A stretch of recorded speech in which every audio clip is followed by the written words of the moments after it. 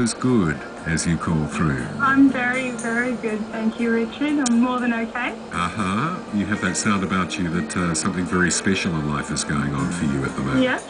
Well, I've got a very special man in my life at the moment, so Is he? Yeah. Is he close by?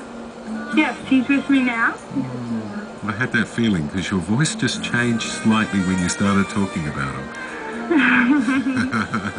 what makes him so wonderful? Is it just he's on your wavelength, or is there more to it? He's just amazing. We've always gotten along so well, and you know, we agree on almost everything, and when we disagree, it's, It's, it's all good anyway. it's not a, not a big drama. Doesn't turn into a big fight. no, no. Was he a friend before he became your lover? Yes, a friend for two and a half years, I think. Yeah. Okay. Yeah, So it feels even better these days now that you two are closer. it does. It does, Richard. And you're just what spending time tonight? Is that rare, or do you get to do this most nights?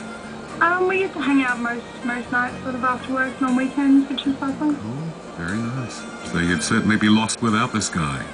I would. Uh-huh. I would be lost without him. Well, we're going to send him out a song tonight to, to let him know that you appreciate him and his love. And for Nell, is there anything else you want to say to your special man?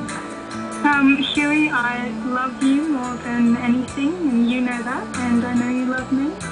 And um, so far everything's been good, and it will be for the future.